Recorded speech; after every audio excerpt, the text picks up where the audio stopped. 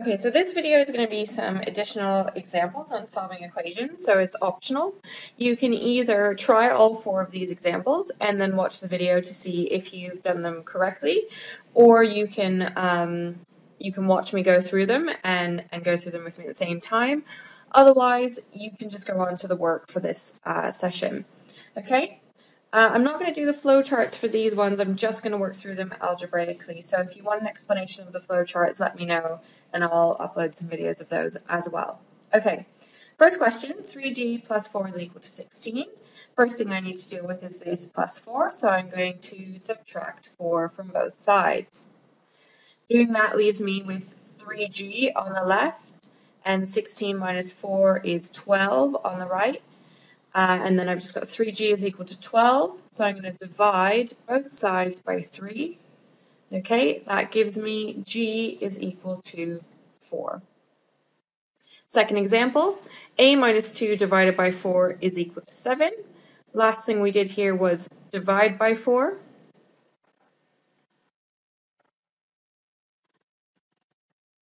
So the first thing I'm going to do now is multiply both sides by 4. Okay, that cancels out my denominator. So I'm left with a minus 2 is equal to 7 times 4, which is 28.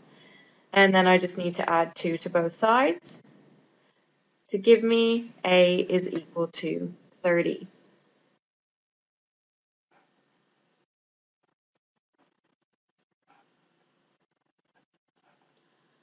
Example 3, I've got 2x divided by 3 plus 5 equals 7.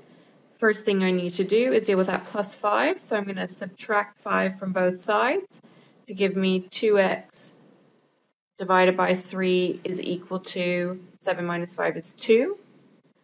Then I've got 2x divided by 3, so I've got to multiply both sides by 3. Okay, that cancels those out to give me 2x is equal to 6. And then I'm going to divide both sides by 2 to give me a final answer of x is equal to 3. Last example, I've got uh, brackets here, so I'm going to start by expanding the brackets. 4 times 2t is 8t, and 4 times minus 1 is minus 4, and that is equal to 24.